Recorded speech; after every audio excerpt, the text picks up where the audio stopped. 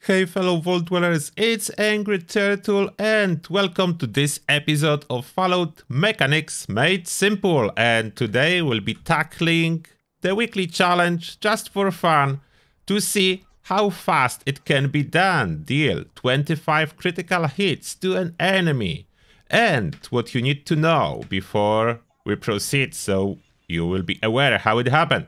Shotguns. Each projectile counts separately as a critical when you apply a critical. So, this is the shotgun. This is a pepper shaker, count as a shotgun, and equipped with single barrel, it splits insane amount of projectiles per shot. On top of that, actually my character has a high luck, but if you have character with low luck and you need to recharge it faster, Four Leaf Clover perk will have a chance to trigger per projectile fired from a shotgun, so almost every other shot will be a critical even with insanely low luck.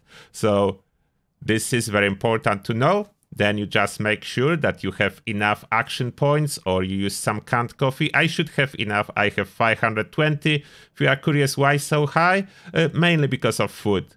Whenever you boost your agility or you directly boost your AP pool, it will add up. And now this Grafton Monster volunteer to contribute to this experiment. Okay, we need to start tracking challenges weekly. Let's track it. Deal critical hits to enemy. Track. This is being tracked now. And let's see, can, can we do it like in no time? Okay, one critical and spin. Let's do it.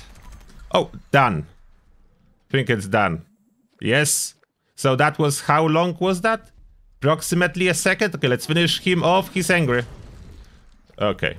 I think it took us about a second. I don't know how many crits I did, probably way more. As you were able to see, first pop-up was 16 out of 25, which means single barrel Pepper Shaker is throwing, spitting out 16 projectile per shot, 16 projectiles per shot. So this is quite insane. Just a quick info drop for you.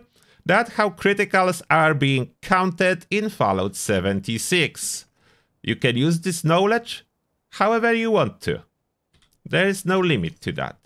If you have some super cool and fun application for this knowledge, definitely let me know in the comments section. And that being said, thank you all for watching and see you all in the next one.